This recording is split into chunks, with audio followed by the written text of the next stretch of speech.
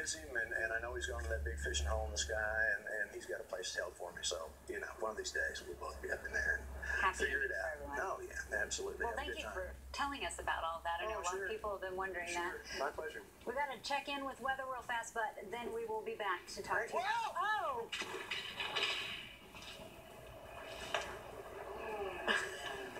He, it's okay. He's all right. Is